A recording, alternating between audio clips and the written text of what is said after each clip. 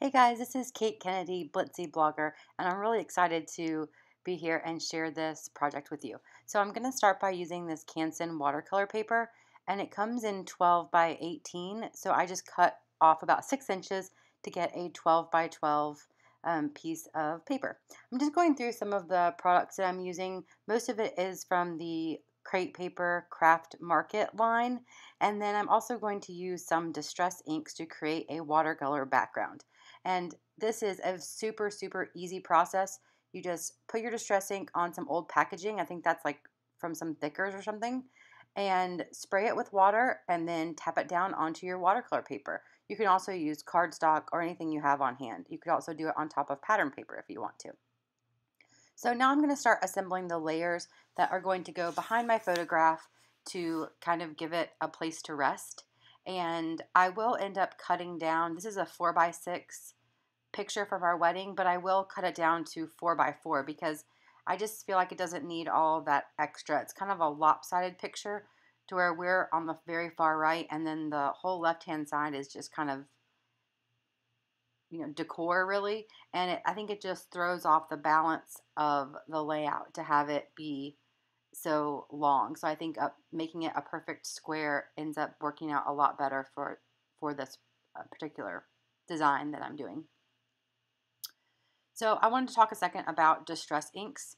And you saw me use the mini distress ink pad, but the, you don't have to use that. You can use the regular size one. You can use the watercolor marker or the distress ink marker. You can use the reinkers or the stains. Any any product like that or just regular watercolors and use the same technique by putting it on the packaging and then you know uh, pressing or smushing it onto the paper. So you kind of saw there my original thought and then uh, that this is when I realized I want to make it a perfect square.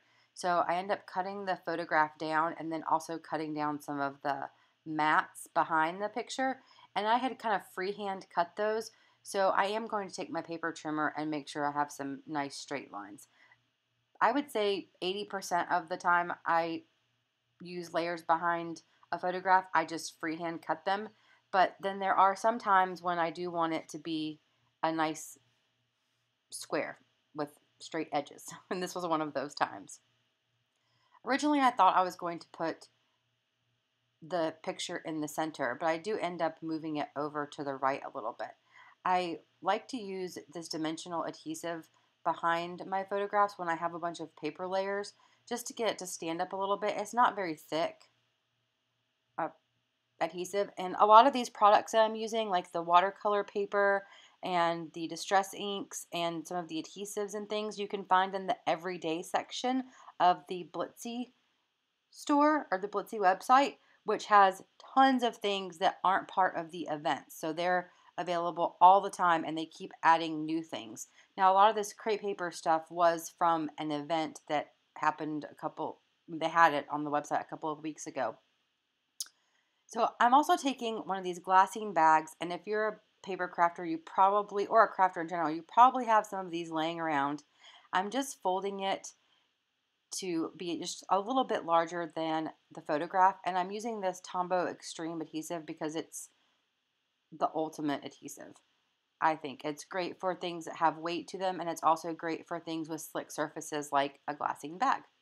So I'm going to put the paper layers with the picture on top of that, and I'm just tucking in a little gold, or half of a little gold doily behind there. I'm also taking some of this gold thread and I'm going to kind of wad it up. And I thought maybe I could staple it to get it to hold in place. That doesn't work, so don't even waste your time. So what I'm going to do is use some of this Ranger Multi-Matte Medium to make a few little dots just to have a, a place to, for the thread to be secured down behind the photograph and then also just straight on the layout. And because it dries matte, you can't see it at all. Whereas Glossy Accents is a great adhesive also, but it dries shiny, so you do see it. So this is a great alternative with, I think, has kind of the same, same holding power as the Glossy Accents, but again, it's invisible. I believe this is also available in the everyday section of the Blitsy shop. So now I'm just going to add my title, which this is from the, there's a 12 by 12 chipboard sheet that comes with the collection, and that's where that comes from. And I'm just going to add some pop dots on the bottom of the letters because I have all those paper layers underneath there to make it lay like flat. I needed to add some dimension. I did add the word our love, but I think I end up changing that. These little triangles, or they're squares really, but I just turned them to like diamonds that are half gold and half colored are also from the 12 by 12 chipboard sheet. And then I'm going to add in some different stickers and things. And I believe everything that I use is from one Crate Paper collection or another. Some are from the new craft market, and then a few of the embellishments I end up using are from the Notes and Things collection. And I'm going to end up adding on this confetti, uh, there's also some from the confetti. The confetti um, sticker sheet has the same shape as the chipboard, but it's in flat stickers, and I end up adding some of those.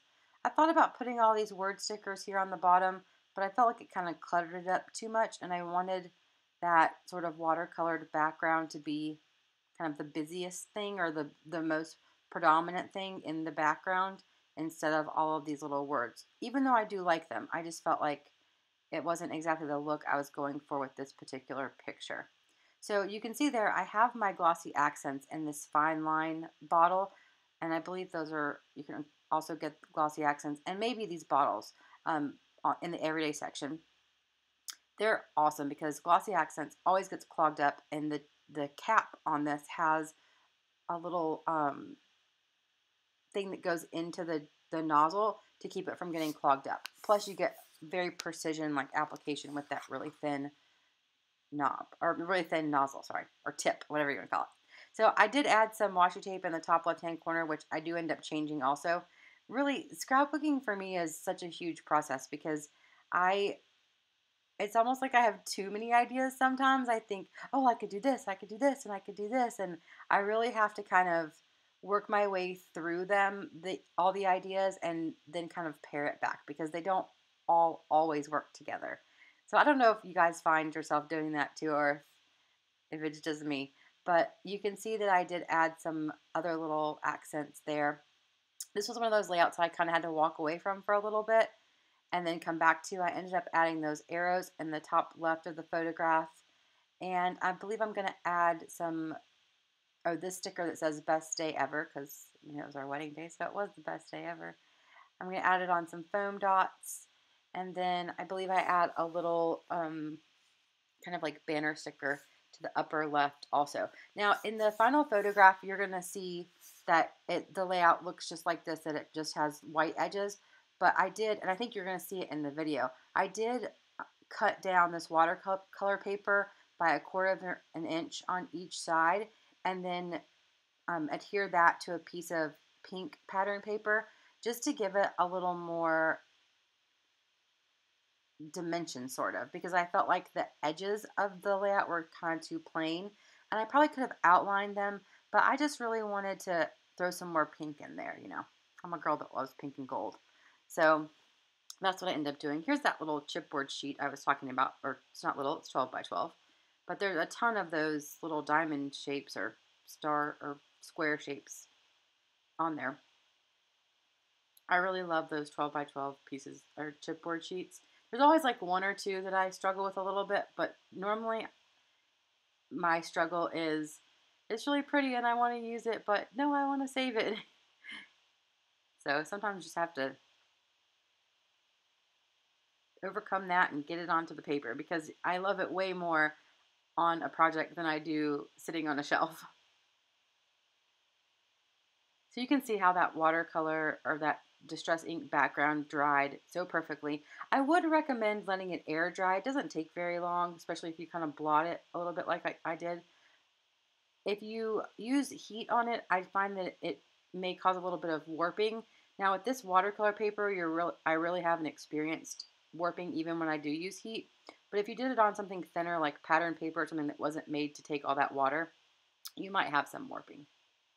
So I just find that with letting it air dry, the chance of that happening is less.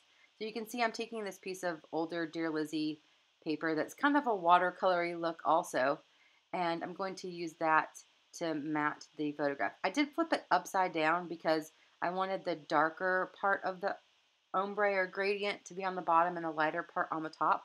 So I'm just adding some of this extreme Tombow adhesive because that watercolor paper is a very It's not very thick. It's thicker than pattern paper. And I wanted the layout, I wanted it to have, to stay onto that pattern paper. So I used that Tombow adhesive. So here you can see the final photos of the layout and you can see how pretty that distress ink looks in the background. And I just love that act, the gold string there. I did add this one little word sticker that says start here. So thank you guys so much for watching and I hope to see you all real soon. Make sure to check out the Blitsy website. Bye.